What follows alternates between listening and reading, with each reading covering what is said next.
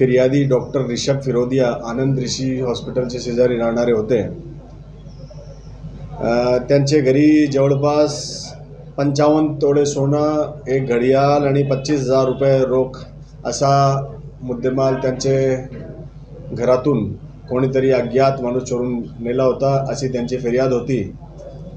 अठ्ठावीस दहा तेवीसपासून आपले additional S P Prashant Khere आपले D Y S P Katkade आपले पोलीस निरीक्षक चंद्रशेखर यादव तसेच आपले P S I Gajendra Nengale P S I Ashwini More आपले police अंमलदार Tanveer Shaikh Ganesh Dhotre Yogesh Bhingardive Sandeep Pitale A P Inamdar Abhay Kadam Salim Shaikh Shahid Shaikh Amol Gade Sandeep Thorat Sujay Hiwale Kailash Shirsat Somnath Raut Atul Kajale Loni police स्टेशनचे रवींद्र मेढे दक्षिण mobile सेलचे राहुल गुंडू असे दोन पथक करण्यात आले होते.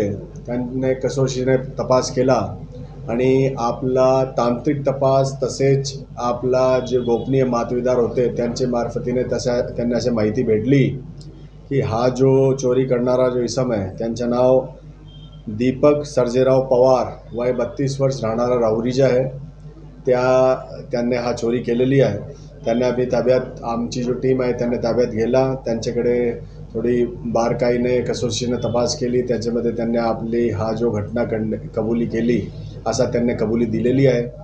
आणि त्यांच्याकडे जवळपास शंभर टक्के रिकव्हरी मुद्देमालची झालेली आहे. कोतवाली पोलिसांसाठी हे डॉक्टर फिरोदे यांची चोरीमध्ये जे पंचावन्न तोळे सोनं चोरीला गेलं होतं ते खूप आव्हानात्मक होतं. नक्कीच आव्हामा आव्हानात्मक होतं. त्याच्यामध्ये आम्हाला फक्त तीन ते चार सेकंदाचं फुटेज आधी अंधूक फुटेज भेटलं.